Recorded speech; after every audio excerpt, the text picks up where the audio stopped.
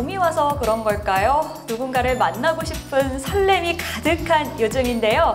그래서 오늘은 특별한 분을 모셔봤습니다. 따스한 봄 햇살 같은 또 따스한 봄바람 같은 그녀죠. 가수 조정민 씨 모셔보겠습니다. 안녕하세요. 안녕하세요. 어, 네, 반갑습니다. 반갑습니다.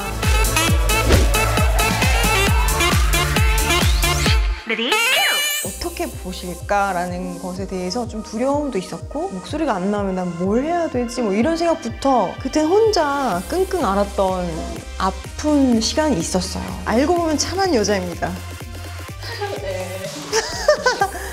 막 쑥스러워요.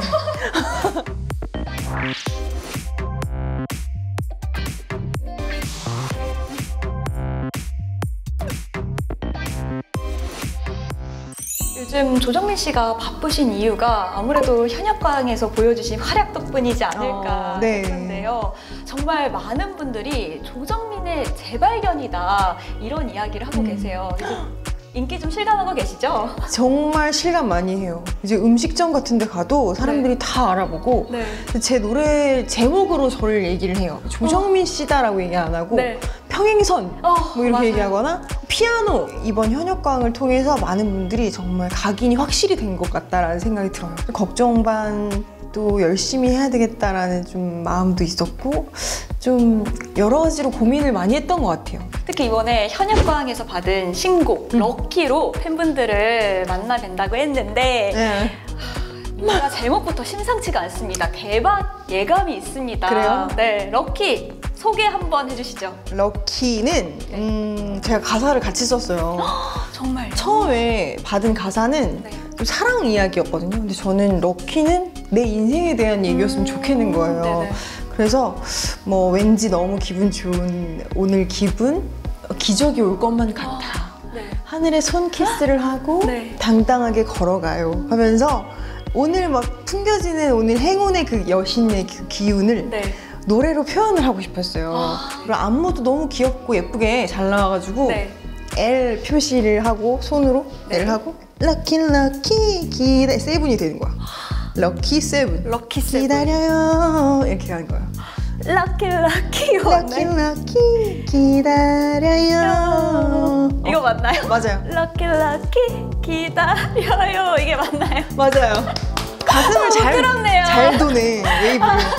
아 좀 돌려봤어요. 소싯적에 돌려봤습니다. 소싯적이에요. Lucky를 일곱 글자로 어. 소개한다면 어떻게 소개할 수 있을까요? 행운 가득한 노래.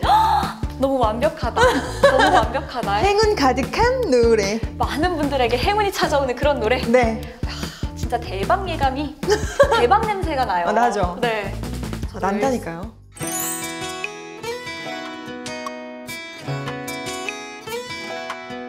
지난해 6월 음. 이제 갑상선 암 수술을 받으셨다고 네. 하셨는데 제가 감히 상상할 순 없겠지만 너무 힘드셨을 것 같아요. 음, 많이 놀랐어요. 저는 가수잖아요. 그쵸? 목을 써야 되는 입장이고 네네.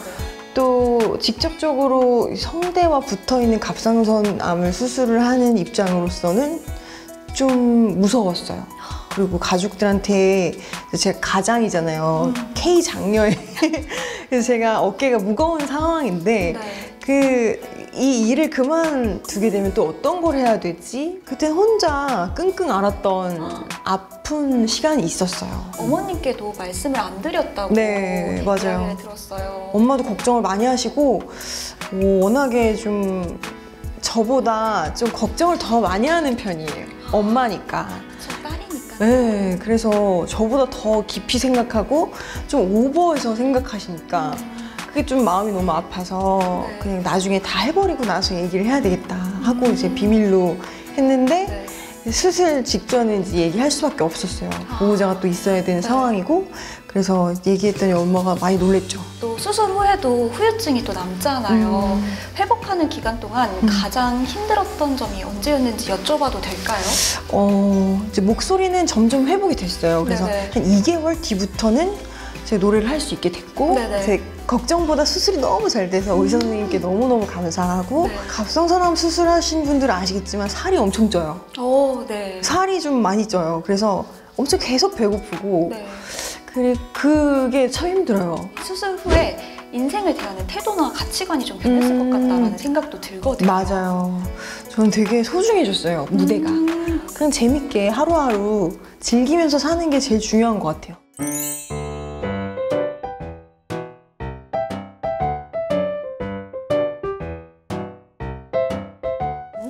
남동생분과 같이 일을 한다고 네. 들었어요. 근데 음. 사실 가족끼리 일하는 게 그렇게 쉽지 않을 것 같거든요. 장단점이 있다면 음. 어떤 게 있을까요? 어, 제가 남동생 둘이 있거든요. 네네. 하나 바로 밑에 동생은 매니저 일을 하고 네네. 그 밑에 동생은 가수 일을 해요. 차에 있는 시간도 되게 많고 저희는 댄서들도 같이 다니기 때문에 네. 차가 꽉 찬단 말이에요. 그러면은 서로 옷 갈아입고 막 이러기가 좀 불편한 상황도 있을 텐데 네. 동생이 그냥 뒤돌아 이러면서 그냥 어. 입기도 하고 되게 편해요. 동생분들에게 혹시 영상 편지 좀 보낼 어. 수 있을까요? 동생들아 안녕. 항상 누나와 함께 해줘서 고맙고 어, 나의 아픔 어려움 다 알고 어, 너무나 든든하게 지켜줘서 고맙고 앞으로도 우리 멋지게 인생을 함께하는 친구로서 어, 좋은 일 많이 많이 만들어 보자 화이팅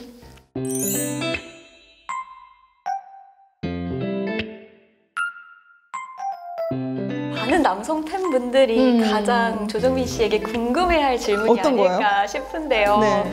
제가 한번 직접 여쭤보겠습니다. 네. 뭐 연애나 결혼에 대한 생각은 없으신가요? 아, 있죠 왜 없겠어요 있는데 저는 만약 연애랑 결혼과 네. 일 중에 하나 선택해라 하면 네. 은 일인 거예요. 아. 아. 직은 조정민으로서 나의 커리어를 더 올려놓고 싶은 게 이제 저의 욕심이라서 네. 결혼은 조금 나중에 해도 되지 않을까. 연애랑 아. 결혼은 40대 때 해도 되지 않을까. 아. 예. 이상형이 대화가 잘 통하는 사람이라고 들었어요. 네. 여전히 이상형은 대화는 너무 중요하지 않아요?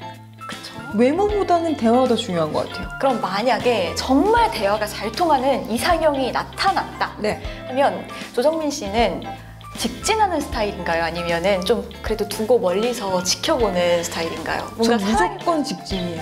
멋있다. 저는 무- 제가 먼저 좋아한다고 얘기를 되게 많이 하기도 했고. 진짜요? 네. 저는 좀 솔직한 편인 것 같아요. 아, 그걸 얘기를 못하면 더 나만 힘든 것 같아요.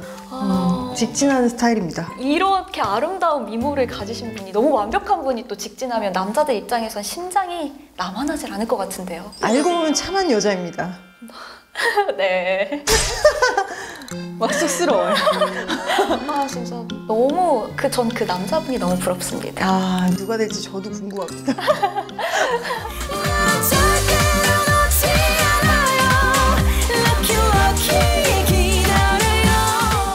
가수로서 대중 앞에 서고 싶은 모습은 어떤 모습일까요? 음 저는 지금 댄스곡도 되게 많이 했고 네.